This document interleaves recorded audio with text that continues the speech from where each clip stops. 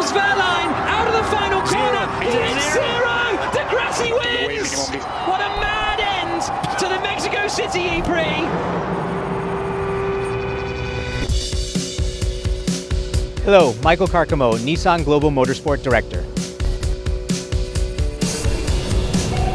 This formula is about efficiency, and the only way to get that efficiency is through energy management.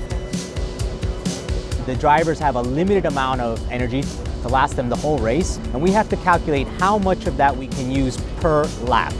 But during that lap, we also have the complexity of other drivers and the position of the driver in the field. So maybe the driver consumes more energy one lap than another. And we have to recalculate the entire rest of the race every lap to understand where he is in the consumption. The very difficult thing is to always find the right compromise according to how much energy you have to save.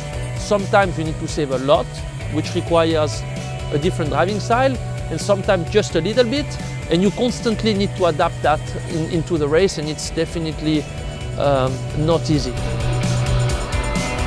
There's so many different things that's linked with energy management that, yeah, for the driver to think about, and, and obviously for, for like Seb, he's been doing this his fifth year now, so when, when something happens, he knows that, you know, there's probably a solution in him.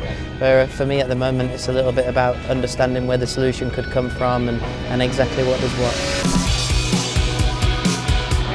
I think it's a really exciting aspect about Formula E. We're not talking about pure just uh, all-out speed. It's about the drivers having to think through their decisions, the teams having to recalculate.